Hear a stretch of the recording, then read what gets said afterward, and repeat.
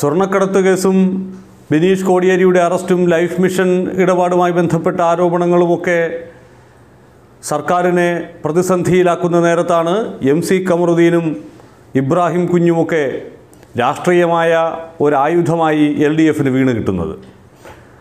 രണ്ടുപേരുടെയും അറസ്റ്റോടുകൂടി അഴിമതിക്കെതിരായ പോരാട്ടം എന്നുള്ള ആ വലിയ സന്ദേശം യു ഡി എഫിന് പൊതുസമൂഹത്തിന് മുന്നിൽ അത്ര ശക്തമായി അവതരിപ്പിക്കാൻ കഴിയാതെ പോയി. അതിന് പിന്നാലെ ഇപ്പോൾ പഴയ ബാർക്കോഴ കേസ് വീണ്ടും സർക്കാർ ഒരായുധമായി എടുത്തു പ്രയോഗിക്കുമ്പോൾ അത് രാഷ്ട്രീയമായി യു ഡി എഫിനെ പ്രതിരോധത്തിലാക്കുന്നുണ്ട് എന്ന കാര്യത്തിൽ സംശയമില്ല. പക് അതേ സമയം തന്നെ ഈ ഒരു ഘട്ടത്തിൽ തിരഞ്ഞെടുപ്പ് അടുത്തിരിക്കുന്ന വേളയിൽ രാഷ്ട്രീയ ലക്ഷ്യത്തോടു കൂടിയുള്ള സർക്കാരിന്റെ ഒരു നീക്കം എന്ന പ്രതിപക്ഷത്തിന്റെ ആരോപണത്തെ പൊതുസമൂഹം അത്ര പെട്ടെന്ന് തള്ളിക്കളയുകയുമില്ല എന്ന യാഥാർത്ഥ്യം നാം തിരിച്ചറിയണം. ബാർക്കോഴ കേസ് അന്വേഷിക്കാനാണെങ്കിൽ ഈ സർക്കാർ അധികാരത്തിൽ വന്നതിന് ശേഷമുള്ള കഴിഞ്ഞ നാലര വർഷക്കാലം എത്രയോ സമയമുണ്ടായിരുന്നു. കെ എം മാണി ജീവിച്ചിരുന്ന സമയത്ത് തന്നെ ആ അതിൽ നടപടികളുമായി അതിശക്തമായി മുന്നോട്ട് പോകാമായിരുന്നു. പക്ഷേ ഒന്നിനും കൃത്യമായ ഒരു തെളിവുകളുമില്ല. വെറുതെ അവിടെയും ഇവിടെയും പറയുന്നത് മാത്രമാണ് ഉള്ളത് എന്ന തരത്തിൽ ആ കേസിന് വലിയ ബലമില്ലാതെ പോകുന്ന ഒരു സാഹചര്യമായിരുന്നു ഇതുവരെ കണ്ടത്. ഏറ്റവും ഒടുവിൽ പിന്നെയും ബാർ മുതലാളിയായ ബിജു രമേശിന്റെ ഒരു വാക്കിന്റെ ചുവട് പിടിച്ച് പ്രതിപക്ഷ നേതാവിനെയും കെ ബാബുവിനെയും വി എസ് ശിവകുമാറിനെയും പ്രോസിക്യൂട്ട് ചെയ്യാൻ അനുമതി തേടുന്ന നടപടിയിലേക്ക് സർക്കാർ കടക്കുമ്പോൾ അത് ഉറപ്പായും പൊതുസമൂഹത്തിനിടയിൽ ഇതൊരു രാഷ്ട്രീയ പകപോക്കലാണ് എന്നുള്ള സന്ദേശമേ കൈമാറുകയുള്ളൂ. എല്ലാ തവണയും അധികാരത്തിലിരിക്കുമ്പോൾ എതിരാളികളെ പൂട്ടാൻ വേണ്ടി ഇത്തരത്തിലുള്ള അന്വേഷണങ്ങൾ എന്ന ആയുധവുമായി ഭരണപക്ഷം ഇറങ്ങാറുണ്ട്. അതിന്റെ തുടർച്ചയായുള്ള ഒരു സംഭവം എന്നു മാത്രം അത് വ്യാഖ്യാനിക്കാൻ ഇടയുണ്ട്. പക്ഷേ ഈ ഒരു ആരോപണത്തിന്റെ പേരിൽ പ്രോസിക്യൂഷന് ഗവർണർ അനുമതി നൽകുകയും അന്വേഷണവുമായി മുന്നോട്ട് പോവുകയും ചെയ്താൽ പ്രതിപക്ഷത്തെ സംബന്ധിച്ചിടത്തോളം അതിന് ഉത്തരം പറയുക എന്നുള്ളൊരു വലിയ ബാധ്യതയുണ്ടാകും.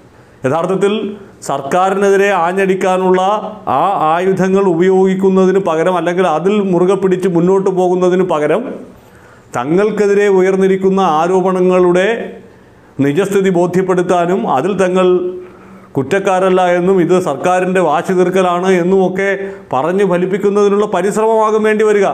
അതിന്റെ ഒരു ഉദാഹരണമാണ് ഈ പ്രകടന പത്രിക പ്രഖ്യാപന വേളയിലും ഉണ്ടായത് യഥാർത്ഥത്തിൽ യു ഡി എഫ് ഈ തെരഞ്ഞെടുപ്പിനെ എങ്ങനെയാണ് നേരിടുന്നത് എന്നതിനെക്കുറിച്ച് പറയേണ്ടിയിരുന്ന ആ വേദിയെ സർക്കാരിനെ ഈ ബാർക്കോഴ വിഷയത്തിൽ തങ്ങളെ പ്രതിരോധത്തിലാക്കുന്നതും തങ്ങൾ എന്താണ് നിലപാടെടുത്തത് എന്നുമൊക്കെ വിശദീകരിക്കാനുള്ള ഒരവസരമാക്കി മാറ്റേണ്ടി വന്നു യു ഡി എഫിന്.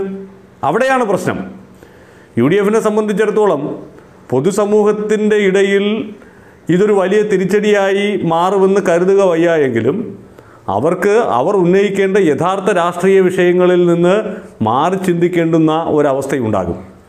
ഇനിയിപ്പോൾ ഇതിന് പിന്നാലെ സോളാർ കേസുമായി ബന്ധപ്പെട്ടുള്ള അന്വേഷണവും വരാൻ പോകുന്നു എന്ന് പറയുന്നു. അങ്ങനെയാണെങ്കിൽ അതിലും ഒരു വലിയ നിര യു ഡി എഫ് നേതാക്കൾ ആരോപണ വിധേയരായി നിൽക്കുന്നുണ്ട്. അപ്പോൾ യു ഡി എഫിലെ ഒരു കൂട്ടം നേതാക്കളെ ഈ സർക്കാരിന്റെ അവസാന കാലം എത്തുമ്പോഴേക്ക് പ്രതിക്കൂട്ടിൽ നിർത്തി പൊതുജനമധ്യത്തിൽ അതൊരു ചർച്ചയാക്കി മാറ്റുക എന്നുള്ള ഇടതുപക്ഷത്തിന്റെ ആ രാഷ്ട്രീയ ലക്ഷ്യമാണ് യഥാർത്ഥത്തിൽ നമ്മളിപ്പോൾ കണ്ടു തുടങ്ങുന്നത്. മെല്ലെ പാലം പൊളിച്ചു തുടങ്ങി ബാറിൽ കയറി അതുവഴി സോളാറിൽ കത്തിച്ചു നിർത്തുക എന്നുള്ള ലക്ഷ്യം.